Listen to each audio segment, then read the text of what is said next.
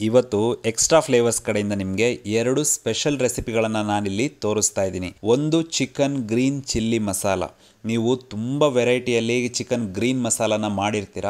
But ಈ chicken green masala ಅದೆಲ್ಲದಕ್ಕಿಂತ ತುಂಬ ಡಿಫ್ರೆಂಟಾಗಿ ನಿಲ್ಲುತ್ತಂದ್ರೂ ತಪ್ಪಾಗೋದಿಲ್ಲ. ಯಾಕಂತ ಹೇಳಿದರೆ ಇದು ತುಂಬ ಫ್ಲೇವರ್ಫುಲ್ ಹಾಗೆಯೇ ನೀವು ಇದನ್ನು ರೆಡಿ ಮಾಡೋತ್ತಿಗೆ ಪಕ್ಕದ ಮನೆಯವರಿಗೂ ಗೊತ್ತಾಗಿರುತ್ತೆ ಇದು ಯಾವುದೋ ಚಿಕನ್ ಮಸಾಲಾನ ಮಾಡ್ತಾ ಇದ್ದಾರೆ ಅಂತ. ಅಷ್ಟು ಟೇಸ್ಟಿಯಾಗಿ ಅಷ್ಟು ಫ್ಲೇವರ್ಫುಲ್ ಆಗಿರುತ್ತೆ. ಇದ್ರ ಜೊತೆಗೆ ಇನ್ನೊಂದು ರೆಸಿಪಿ ನಾನು ಮದುವೆ ಮನೆಯಲ್ಲಿ ಮಾಡುವಂತಹ ಗೀ ರೈಸ್ ಅದರಲ್ಲಿ ಯಾಕಷ್ಟು ಪರಿಮಳ ಬರುತ್ತೆ ಆ ಟೇಸ್ಟ್ ಡಿಫ್ರೆಂಟ್ ಆಗಿ ಬರೋಕ್ಕೆ ಏನು ಮಾಡಬೇಕು ಅನ್ನೋದನ್ನ ಈ ವಿಡಿಯೋದಲ್ಲಿ ನಾನು ತೋರಿಸ್ತಾ ಇದ್ದೀನಿ. ಹಾಗಾದರೆ ತಡ ಮಾಡದೆ ಈ ಎರಡೂ ರೆಸಿಪಿಗಳನ್ನು ಚೆಕ್ ಮಾಡೋಣ.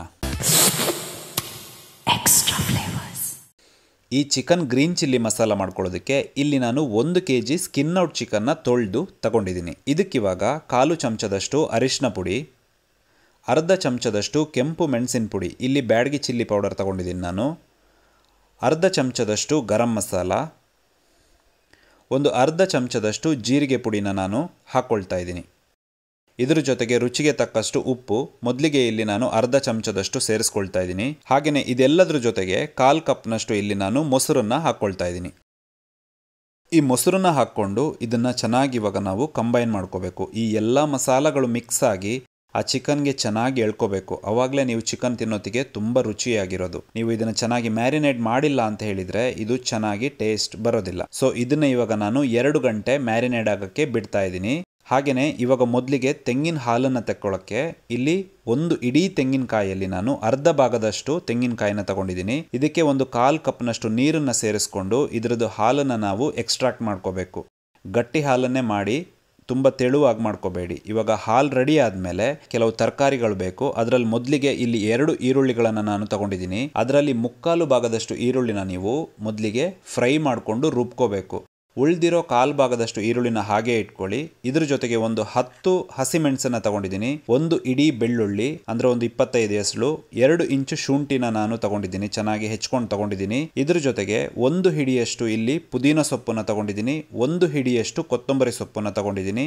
ಇದೆಲ್ಲದ್ರ ಜೊತೆಗೆ ಒಂದು ಟೊಮೆಟೊನ ತಗೊಂಡಿದ್ದೀನಿ. ಇಲ್ಲಿ ಹುಳಿಯನ್ನ ಯೂಸ್ ಮಾಡ್ತಾ ಇಲ್ಲ ಟೊಮೆಟೊ ಇದೆಲ್ಲದನ್ನು ಒಂದ್ಸಲ ಚೆನ್ನಾಗಿ ಇವಾಗ ನಾವು ಫ್ರೈ ಮಾಡಿಕೊಂಡು ಆಮೇಲೆ ರುಬ್ಕೋಬೇಕು. ಸೊ ಇವಾಗ ಒಂದು ಬಾಣಲೆಗೆ ಒಂದು ಎರಡು ಚಮಚದಷ್ಟು ಎಣ್ಣೆನ ಹಾಕ್ಕೊಂಡು ಮೊದಲಿಗೆ ನಾನು ಈರುಳ್ಳಿನ ಸೇರಿಸ್ಕೊಳ್ತಾ ಇದ್ದೀನಿ. ಮೊದಲೇ ಹೇಳ್ದಂತೆ ಒಂದು ಎಪ್ಪತ್ತೈದು ಪರ್ಸೆಂಟ್ ಈರುಳ್ಳಿನ ಇದಕ್ಕೆ ನೀವು ಇವಾಗ ಸೇರಿಸ್ಕೋಬೇಕು. ಒಂದು ಕಾಲು ಭಾಗದಷ್ಟು ಹಾಗೇನೆ ಇಟ್ಕೋಬೇಕು. ಇದನ್ನು ನಾವು ಹೈ ಫ್ಲೇಮಲ್ಲಿ ಬ್ರೌನ್ ಕಲರ್ ಬರೋ ತನಕ ಫ್ರೈ ಮಾಡ್ಕೋಬೇಕಾಗುತ್ತೆ. ಯಾವ ಕಾರಣಕ್ಕೂ ಮೀಡಿಯಮಲ್ಲಿ ಇಡಬೇಡಿ ಹೈ ಫ್ಲೇಮಲ್ಲಿ ಇಡಬೇಕು. ಅದರಿಂದ ಹೊಗೆ ಬರಬೇಕು. ಆ ಥರ ನೀವು ಅದನ್ನು ಫ್ರೈ ಮಾಡ್ಕೋಬೇಕು. ನೋಡಿ, ಇವಾಗ ಬ್ರೌನ್ ಕಲರ್ ಆಗಿದೆ. ಇದಕ್ಕಿವಾಗ ಒಂದು ಹತ್ತು ಗೋಡಂಬಿಗಳನ್ನು ನಾನು ಸೇರಿಸ್ಕೊಳ್ತಾ ಇದ್ದೀನಿ. ಹಾಗೆಯೇ ಒಂದು ಟೇಬಲ್ ಸ್ಪೂನ್ ಅಷ್ಟು ಧನಿಯನ್ನ ಹಾಕ್ಕೊಳ್ತಾ ಇದ್ದೀನಿ. ಇಲ್ಲಿ ನಾನು ಧನಿಯಾ ಪೌಡರ್ ಯೂಸ್ ಮಾಡಿಲ್ಲ. ಧನಿಯನ್ನೇ ಹಾಕ್ಕೊಳ್ತಾ ಇದ್ದೀನಿ. ಸೊ ಧನಿಯನ್ನೇ ಹಾಕ್ಕೊಳ್ಳಿ. ಇದನ್ನು ಇವಾಗ ಒಂದು ಎರಡು ನಿಮಿಷ ನೀವು ಮತ್ತೆ ಫ್ರೈ ಮಾಡ್ಕೋಬೇಕು. ಅದಾದಮೇಲೆ ಇದಕ್ಕೆ ಹಸಿಮೆಣಸನ್ನು ಸೇರಿಸ್ಕೋಬೇಕು. ಇಲ್ಲಿ ಹಸಿಮೆಣಸು ಹತ್ತು ಹಾಕ್ಕೊಂಡಿದ್ದೀನಿ ಇದು ಖಾರ ಜಾಸ್ತಿ ಇಲ್ಲ.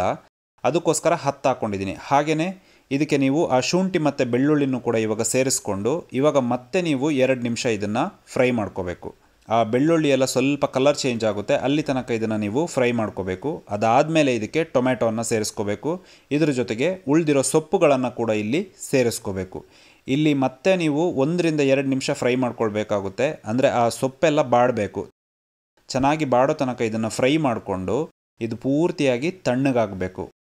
ಒಂದ್ಸಲ ಇದು ತಣ್ಣಗಾದ್ಮೇಲೆ ಇದನ್ನು ನೀವು ಜಾರಿಗೆ ಟ್ರಾನ್ಸ್ಫರ್ ಮಾಡ್ಕೋಬಹುದು. ನೋಡಿ ಎಷ್ಟು ಚೆನ್ನಾಗಿ ಅದು ಫ್ರೈ ಆಗಿದೆ. ಒಂದ್ಸಲ ನೀವು ಜಾರಿಗೆ ಹಾಕೊಂಡ್ಮೇಲೆ ಇದಕ್ಕೆ ಒಂದು ತುಂಡು ಚಕ್ಕೆ, ಒಂದು ಏಲಕ್ಕಿ ಹಾಗೆಯೇ ಒಂದು ಆರು ಲವಂಗಗಳನ್ನು ನಾನಿಲ್ಲಿ ಹಾಕ್ಕೊಳ್ತಾ ಇದ್ದೀನಿ. ಇದನ್ನು ನಾವು ಸ್ವಲ್ಪ ನೀರು ಸೇರಿಸ್ಕೊಂಡು ರುಬ್ಕೋಬೇಕು. ಇಲ್ಲಿ ನೋಡಿ, ನಾನು ಅರ್ಧ ಕಪ್ ನೀರನ್ನು ಸೇರಿಸ್ಕೊಂಡು ಮಸಾಲಾನ ರುಬ್ಕೊಂಡಿದ್ದೀನಿ. ತೆಂಗಿನ ಹಾಲು ಕೂಡ ರೆಡಿಯಾಗಿದೆ ಇದೆಲ್ಲ ರೆಡಿ ಆದಮೇಲೆ ಇವಾಗ ನಾವು ಸಾರನ್ನು ರೆಡಿ ಮಾಡ್ಕೊಳ್ಳೋಣ. ಸೊ ಇವಾಗ ಒಂದು ಬಾಣಲೆಗೆ ಇಲ್ಲಿ ನಾನು ಕಾಲು ಕಪ್ನಷ್ಟು ಎಣ್ಣೆನ ಸೇರಿಸ್ಕೊಳ್ತಾ ಇದ್ದೀನಿ. ನೀವು ತುಪ್ಪ ಬೇಕಾದರೆ ತುಪ್ಪ ಹಾಕೋಬಹುದು, ಅಥವಾ ತೆಂಗಿನೆಣ್ಣೆ ಬೇಕಾದರೆ ತೆಂಗಿನ ಎಣ್ಣೆ ಕೂಡ ಹಾಕೋಬಹುದು. ಇದಕ್ಕೆ ಇವಾಗ ಉಳಿದಿರುವಂತಹ ಈರುಳ್ಳಿನ ಹಾಕ್ಕೊಂಡು ಒಂದು ಎರಡು ನಿಮಿಷ ನಾವು ಮೀಡಿಯಂ ಫ್ಲೇಮಲ್ಲಿ ಇದನ್ನು ಫ್ರೈ ಮಾಡ್ಕೋಬೇಕು. ಆವಾಗ ನಾವು ಹೈ ಫ್ಲೇಮಲ್ಲಿ ಮಾಡಿದ್ವಿ, ಬಟ್ ಇವಾಗ ಮೀಡಿಯಂ ಫ್ಲೇಮಲ್ಲಿ ಮಾಡ್ಕೋಬೇಕು. ಎರಡು ನಿಮಿಷ ಆದಮೇಲೆ ಇದಕ್ಕೆ ನಾವು ಮ್ಯಾರಿನೇಟ್ ಮಾಡಿರುವಂತಹ ಚಿಕನ್ನ ಸೇರಿಸ್ಕೋಬೇಕು. ಚಿಕನ್ನ ಸೇರಿಸ್ಕೊಂಡು ಇದೇ ಎಣ್ಣೆಯಲ್ಲಿ ಹೈ ಫ್ಲೇಮಲ್ಲಿ ಒಂದು ಎರಡರಿಂದ ಮೂರು ನಿಮಿಷ ನಾವು ಚೆನ್ನಾಗಿ ರೋಸ್ಟ್ ಮಾಡ್ಕೊಳ್ಬೇಕಾಗುತ್ತೆ. ಸ್ವಲ್ಪ ನೀರನ್ನು ಅದು ಬಿಡಬೇಕು. ಆ ನೀರನ್ನೆಲ್ಲ ಚಿಕನ್ ಬಿಡ್ತಾ ಬರೋವಾಗ ಇದನ್ನು ನೀವು ಮುಚ್ಚಿಟ್ಟು ಒಂದು seventy five percent chicken cook ಆಗೋ ತನಕ ಇದನ್ನು ನೀವು ಬಿಟ್ಬಿಡಬೇಕು. ಮೀಡಿಯಂ ಫ್ಲೇಮಲ್ಲಿ ಅಥವಾ ಹೈ ಫ್ಲೇಮಲ್ಲಿ ನೀವು ಮಾಡ್ಕೋಬಹುದು. ಇವಾಗ ಚಿಕನ್ ಸೆವೆಂಟಿ ಫೈವ್ ಪರ್ಸೆಂಟ್ನಷ್ಟು ಕುಕ್ ಆಗಿದೆ. ಇವಾಗ ನಾನು ರುಬ್ಕೊಂಡಿರುವಂತಹ ಮಸಾಲಾನ ಇದಕ್ಕೆ ನಾನಿವಾಗ ಸೇರಿಸ್ಕೊಳ್ತಾ ಇದ್ದೀನಿ. ಮಸಾಲಾನ ಒಂದ್ಸಲ ಸೇರಿಸ್ಕೊಂಡು ಇದನ್ನು ಚೆನ್ನಾಗಿ ಮಿಕ್ಸ್ ಮಾಡ್ಕೊಳ್ಳಿ. ಆ ಮಸಾಲೆ ಎಲ್ಲ ಚೆನ್ನಾಗಿ ಚಿಕನ್ಗೆ ತಾಗಬೇಕು. ಇಲ್ಲಿ ನೀರನ್ನು ಯೂಸ್ ಮಾಡ್ತಾ ಇಲ್ಲ ನಾನು. ಚಿಕನ್ನೇ ನೀರು ಬಿಡೋದ್ರಿಂದ ಇಲ್ಲಿ ನೀರನ್ನು ಯೂಸ್ ಮಾಡ್ತಾ ಇಲ್ಲ. ಸೊ ಇದಕ್ಕೆ ರುಚಿಗೆ ತಕ್ಕಷ್ಟು ಉಪ್ಪನ್ನು ಹಾಕ್ಕೊಂಡು ಮತ್ತೆ ಒಂದ್ಸಲ ಮಿಕ್ಸ್ ಮಾಡ್ಕೊಳ್ಳಿ. ನಿಮಗೆ ನೀರು ಬೇಕಂದರೆ ನೀರು ಹಾಕ್ಕೋಬಹುದು ಬಟ್ ಇದು ಗಟ್ಟಿ ಸಾರಿದ್ರೇ ತುಂಬ ಚೆನ್ನಾಗಿರುತ್ತೆ. ಒಂದ್ಸಲ ಮಸಾಲಾನ ಸೇರಿಸ್ಕೊಂಡು ಇವಾಗ ಮತ್ತೆ ಇದನ್ನು ಕುಕ್ ಮಾಡ್ಕೋಬೇಕು. ಚಿಕನ್ ಒಂದ್ಸಲ ಪೂರ್ತಿ ಕುಕ್ ಆದಮೇಲೆ ಇದಕ್ಕೆ ನೀವು ಏನು ತೆಂಗಿನ ಹಾಲು ಮಾಡಿಟ್ಕೊಂಡಿದ್ದೀರೋ ಈ ತೆಂಗಿನ ಹಾಲನ್ನು ಸೇರಿಸ್ಕೋಬೇಕು. ಇಲ್ಲಿ ನಿಮಗೆ ತೆಂಗಿನ ಹಾಲು ಬೇಡ ಅಂದರೆ ನೀವು ತೆಂಗಿನ ಹಾಲನ್ನು ಸ್ಕಿಪ್ ಮಾಡ್ಬೋದು. ಆ ಮಸಾಲ ತುಂಬ ಚೆನ್ನಾಗಿ ಟೇಸ್ಟ್ ಇರುತ್ತೆ. ತೆಂಗಿನ ಹಾಲು ಬೇಕಂದವರು ತೆಂಗಿನ ಹಾಲನ್ನು ಹಾಕ್ಕೋಬಹುದು. ಸೊ ತೆಂಗಿನ ಹಾಲನ್ನು ಹಾಕಿದ ಮೇಲೆ ಒಂದು ಕುದಿ ತೆಗೆದ್ರೆ ಸಾಕು. ಇವಾಗ ಒಂದು ಕುದಿ ಆದಮೇಲೆ ನಾನು ಓಪನ್ ಮಾಡ್ತಾ ಇದ್ದೀನಿ. ತುಂಬ ಫ್ಲೇವರ್ಫುಲ್ ಆ ಅರೋಮಾ ತುಂಬ ಚೆನ್ನಾಗಿ ಬರ್ತಾ ಇದೆ. ಹಾಗೆಯೇ ಟೇಸ್ಟ್ ಕೂಡ ತುಂಬ ಡಿಫ್ರೆಂಟ್ ಆಗಿರುತ್ತೆ. ಸೊ ನೀವು ಮಸ್ಟ್ ಆ್ಯಂಡ್ ಶುಡ್ಡು ಈ ಚಿಕನ್ ಗ್ರೀನ್ ಚಿಲ್ಲಿ ಮಸಾಲನ ಟ್ರೈ ಮಾಡಿ. ಖಂಡಿತವಾಗ್ಲೂ ಬೇರೆ ಯಾವ ಗ್ರೀನ್ ಚಿಲ್ಲಿ ಮಸಾಲನ ನೀವು ಮಾಡ್ಕೊಳ್ಳಲ್ಲ. ಇದನ್ನೇ ಮಾಡ್ತೀರಾ, ಅಷ್ಟು ಚೆನ್ನಾಗಿರುತ್ತೆ. ಸೊ ಇವಾಗ ನಾವು ಮದುವೆ ಮನೆಯಲ್ಲಿ ಮಾಡುವಂತಹ ಗೀ ರೈಸ್ನ ಮಾಡೋಣ. ಇದು ಕೂಡ ನಿಮಗೆ ಆ ಪರಿಮಳ ಹೇಗೆ ಬರುತ್ತೆ ಅಂತ ಹೇಳಿ ನಾನು ಇಲ್ಲಿ ಹೇಳ್ತಾ ಇದ್ದೀನಿ. ಮೊದಲಿಗೆ ಮಾಡಬೇಕಾಗಿರೋಂಥ ಕೆಲಸ ಅಂದರೆ ಜೀರಾ ರೈಸ್ನ ತಗೊಳ್ಳೋದು ಜೀರಾ ರೈಸ್ನೇ ತಗೊಳ್ಳಿ, ಪರಿಮಳ ತುಂಬ ಚೆನ್ನಾಗಿರುತ್ತೆ ಇದರದ್ದು. ಹಾಗೆಯೇ ಇದನ್ನು ನೆನೆ ಇಡೋದೆಲ್ಲ ಏನು ಬೇಡ. ಜಸ್ಟ್ ನೀವು ತೊಳೆದು ತೆಗೆದ್ರೆ ಸಾಕು. ನೆನೆ ಇಟ್ಟರೆ ರೈಸ್ ತುಂಬ ಮುದ್ದೆ ಆಗಿಬಿಡುತ್ತೆ. ಸೊ ಇದಕ್ಕೆ ಇವಾಗ ಬೇಕಾಗಿರೋ ತರಕಾರಿಗಳಲ್ಲಿ ಮೊದಲಿಗೆ ಇಲ್ಲಿ ನೋಡಿ ಅರ್ಧ ಈರುಳ್ಳಿನ ನಾನು ಹೆಚ್ಚಿಟ್ಕೊಂಡಿದ್ದೀನಿ. ಎರಡು ಗ್ಲಾಸ್ ಅಕ್ಕಿಗೆ, ಅಂದರೆ ಒಂದು ಐನೂರು ಗ್ರಾಮ್ ಅಕ್ಕಿಗೆ ಅರ್ಧ ಈರುಳ್ಳಿ ಹಾಗೆಯೇ ಕ್ಯಾರೆಟ್ನ ಸಣ್ಣದಾಗಿ ಹೆಚ್ಚಿಟ್ಕೊಂಡಿದ್ದೀನಿ. ಇದ್ರ ಜೊತೆಗೆ ಸ್ವಲ್ಪ ಕೊತ್ತಂಬರಿ ಸೊಪ್ಪು ಹಾಗೆಯೇ ಸ್ವಲ್ಪ ಪುದೀನ, ಜಾಸ್ತಿ ಹಾಕೋಬೇಡಿ ಸ್ವಲ್ಪ ಸ್ವಲ್ಪ. ಇದ್ರ ಜೊತೆಗೆ ಮೇಯ್ನ್ ಇಂಗ್ರೀಡಿಯೆಂಟ್ ಈ ಬಾಸ್ಮತಿ ಎಲೆ. ಬಾಸ್ಮತಿ ಎಲೆನ ನೀವು ಸ್ಕಿಪ್ ಮಾಡದೆ ಎರಡು ಎಲೆಗಳನ್ನು ಅರ್ಧ ಕೆ ಜಿ ಅಕ್ಕಿಗೆ ಹಾಕಬೇಕು. ಇದ್ರ ಜೊತೆಗೆ ಚಕ್ಕೆ, ಲವಂಗ, ಏಲಕ್ಕಿ ಇದನ್ನು ನಾನು ತಗೊಂಡಿದ್ದೀನಿ. ಇಲ್ಲಿ ಏಲಕ್ಕಿನ ಒಂದು ಮೂರ್ನಾಲ್ಕು ತಗೊಂಡಿದ್ದೀನಿ, ಲವಂಗ ಒಂದು ಹತ್ತು. ಇದೆಲ್ಲದರ ಜೊತೆಗೆ ಒಂದು ಅರ್ಧ ಕಪ್ನಷ್ಟು ಗಟ್ಟಿ ತೆಂಗಿನ ಹಾಲನ್ನು ಹಾಕ್ಕೋಬೇಕು. ಇದನ್ನು ಸ್ಕಿಪ್ ಮಾಡಬೇಡಿ. ಹಾಗೆಯೇ ಎರಡು ಹಸಿಮೆಣಸನ್ನು ತಗೊಂಡಿದ್ದೀನಿ. ಇಲ್ಲಿ ಶುಂಠಿನ ನಾನು ಒಂದು ಇಂಚು ತಗೊಂಡು ಸಣ್ಣದಾಗಿ ಹೆಚ್ಕೊಂಡಿದ್ದೀನಿ. ತುಂಬ ಸಣ್ಣದಾಗಿ, ಬಾಯಿಗೆ ಸಿಗಬಾರ್ದು. ಅಷ್ಟು ಸಣ್ಣದಾಗಿ ನೀವು ಇದನ್ನು ಹೆಚ್ಕೋಬೇಕು. ಇದೆಲ್ಲ ರೆಡಿ ಆದಮೇಲೆ ಇವಾಗ ಒಂದು ಕುಕ್ಕರ್ಗೆ ಒಂದು ಕಾಲು ಕಪ್ನಷ್ಟು ಇಲ್ಲಿ ಎಣ್ಣೆನ ಹಾಕ್ಕೊಳ್ತಾ ಇದ್ದೀನಿ. ಇದಕ್ಕೆ ಗೀ ರೈಸ್ ಅಂತ ಹೆಸರು ಮಾತ್ರ ಬಟ್ ಇದನ್ನು ತುಪ್ಪದಲ್ಲಿ ಮಾಡ್ಕೊಳ್ಳಲ್ಲ ನಾವು. ಎಣ್ಣೆಯಲ್ಲೇ ಮಾಡ್ಕೊಳ್ಳೋದು. ಸೊ ಇದಕ್ಕಿವಾಗ ಆ ಚಕ್ಕೆ ಲವಂಗಗಳನ್ನೆಲ್ಲ ಸೇರಿಸ್ಕೊಳ್ಳಿ. ಇದನ್ನು ಜಸ್ಟ್ ಆ ಲವಂಗ ಎಲ್ಲ ಒಡೆದೋಗ್ಬೇಕು. ಅಲ್ಲಿ ತನಕ ಇದನ್ನು ಫ್ರೈ ಮಾಡಿಕೊಂಡು ಇದಕ್ಕೆ ಈರುಳ್ಳಿನ ಸೇರಿಸ್ಕೊಳ್ಳಿ. ಇಲ್ಲಿ ಲವಂಗ ಹೊಡೆಯೋ ಮುಂಚೆ ನೀವು ಈರುಳ್ಳಿನ ಹಾಕ್ಕೋಬೇಡಿ. ಲವಂಗ ಹೊಡೆದ್ರೆ ಮಾತ್ರ ಅದರದ್ದು ಅರೋಮ ಹೊರಗೆ ಬರುತ್ತೆ. ಅದಾದಮೇಲೆ ಈರುಳ್ಳಿನ ಸೇರಿಸ್ಕೊಂಡು ಒಂದು ನಿಮಿಷ ಫ್ರೈ ಮಾಡಿ ಇದಕ್ಕೆ ಹಸಿಮೆಣಸು ಹಾಗೆಯೇ ಆ ಶುಂಠಿನ ಸೇರಿಸ್ಕೊಂಡು ಇದ್ರ ಜೊತೆಗೆ ಕ್ಯಾರೆಟ್ನೂ ಹಾಕ್ಕೊಂಡು ಮೀಡಿಯಂ ಫ್ಲೇಮಲ್ಲಿ ಇದನ್ನು ನೀವು ಒಂದು ಎರಡು ನಿಮಿಷ ಫ್ರೈ ಮಾಡ್ಕೋಬೇಕು. ಮೀಡಿಯಂ ಫ್ಲೇಮ್ ಇಡಿ. ಈರುಳ್ಳಿನೆಲ್ಲ ಸುಡಬಾರ್ದು ಜಾಸ್ತಿ.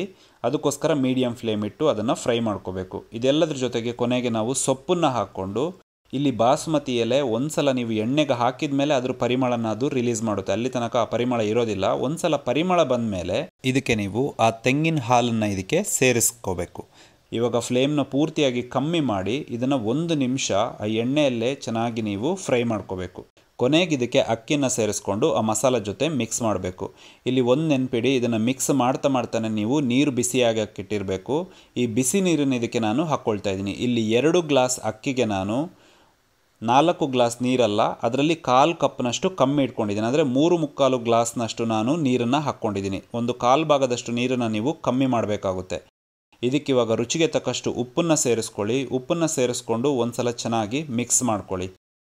ಇಲ್ಲಿ ಮತ್ತೆ ಹೇಳ್ತಾ ಇದ್ದೀನಿ, ನೀರನ್ನು ಕಾಲು ಲೋಟದಷ್ಟು ನೀವು ಕಮ್ಮಿ ಇಡಬೇಕು. ಇದನ್ನು ಇವಾಗ ಕುಕ್ಕರ್ ಕ್ಲೋಸ್ ಮಾಡಿ ನಾನು ಮೂರು ವಿಷಲ್ ತೆಗಿತಾ ಇದ್ದೀನಿ. ಮೂರು ವಿಷಲ್ ಆದಮೇಲೆ ಇವಾಗ ನೋಡಿ, ನಮ್ಮ ಗೀ ರೈಸ್ ರೆಡಿಯಾಗಿದೆ ನೀವು ಮದುವೆ ಮನೆಯಲ್ಲಿ ಅದು ಏನು ಅರೋಮ ಇರುತ್ತೋ, ಪರಿಮಳ ಇರುತ್ತೋ, ಆ ಪರಿಮಳನೇ ಇದಕ್ಕೆ ಬರುತ್ತೆ. ಸೊ ಕೊನೆಯದಾಗಿ ಓಪನ್ ಮಾಡಿದ ಮೇಲೆ ಇದಕ್ಕೆ ಒಂದು ಎರಡು ಚಮಚದಷ್ಟು ತುಪ್ಪನ್ನು ಹಾಕಿ ಒಂದು ಸಲ ಚೆನ್ನಾಗಿ ಮಿಕ್ಸ್ ಮಾಡ್ಕೊಳ್ಳಿ. ಈ ಜೀರಾ ರೈಸ್ ಏನು ಅಂತ ಹೇಳಿದರೆ ತುಂಬ ಬಿಸಿಯಾಗಿರೋತ್ತಿಗೆ ಇದು ನಿಮಗೆ ಮುದ್ದೆ ಮುದ್ದೆಯಾಗಿ ಕಾಣ್ಬೋದು. ಬಟ್ ಆದರೆ ಒಂದು ಸಲ ತಣ್ಣಗಾಗುತ್ತಲ್ಲ, ತಣ್ಣಗ ಅಂದರೆ ಸ್ವಲ್ಪ ತಣ್ಣಗಾದರೆ ಸಾಕು. ತಣ್ಣಗಾದ್ಮೇಲೆ ಅದು ಬಿಡಿ ಬಿಡಿ ಆಗುತ್ತೆ. ಸೊ ಆ ಗೀ ರೈಸ್ ಕೂಡ ರೆಡಿಯಾಗಿದೆ ನೋಡಿ. ಸೊ ಇದು ಇವತ್ತಿನ ಎರಡು ಸ್ಪೆಷಲ್ ರೆಸಿಪಿಗಳು ಖಂಡಿತವಾಗ್ಲೂ ಇದನ್ನು ಟ್ರೈ ಮಾಡಿ ಹೇಗಿತ್ತು ಅಂತ ಹೇಳೋಕ್ಕೆ ಮರಿಬೇಡಿ. ಹಾಗೆಯೇ ಈ ವಿಡಿಯೋ ನಿಮಗೆ ಇಷ್ಟ ಆದರೆ ಒಂದು ಲೈಕ್ ಕೊಡಿ. ಹಾಗೆಯೇ ನಿಮ್ಮ ಫ್ರೆಂಡ್ಸ್ ಜೊತೆ ಶೇರ್ ಮಾಡೋಕ್ಕೂ ಮರಿಬೇಡಿ. ನೆಕ್ಸ್ಟ್ ರೆಸಿಪಿ ಜೊತೆ ಮತ್ತೆ ನಾನು ನಿಮ್ಮನ್ನು ಭೇಟಿಯಾಗ್ತೀನಿ. ಅಲ್ಲಿ ತನಕ ಟೇಕ್ ಕೇರ್ ಬಾಯ್